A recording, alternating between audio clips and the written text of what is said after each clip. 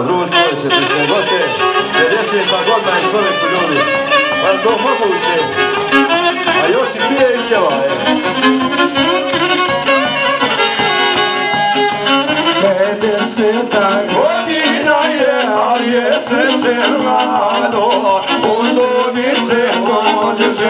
i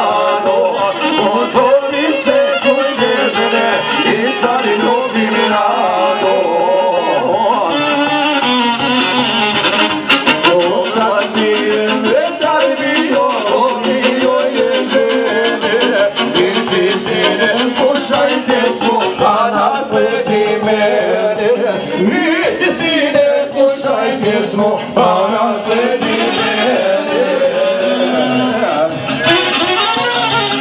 Idemo specijalna Galerija Pavlovića za sve prisutne goste.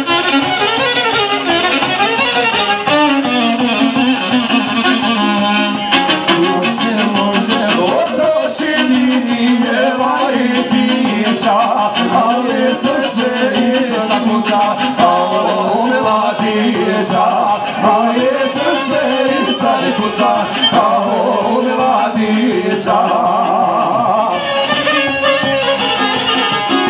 Otac mi je vezan bio, volio je žene I ti sine slušaj pjesmu, a nasledi mene I ti sine slušaj pjesmu, a nasledi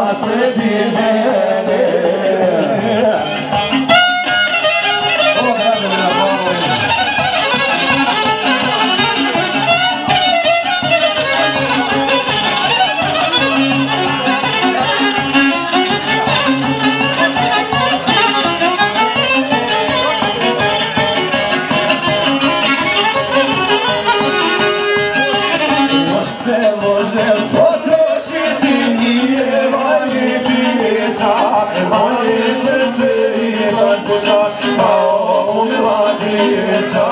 Ali srce i sad kuća, kao